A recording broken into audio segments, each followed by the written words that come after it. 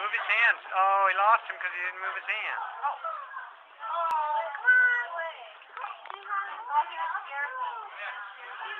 Oh, yeah? Look, tapping the window.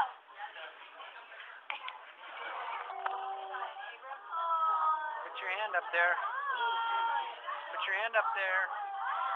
Wave your hand, and he'll come. He'll follow your hand. Oh, I thought it was scaring us. No, he, No. he follows it. You got to move your hand, or he'll go away.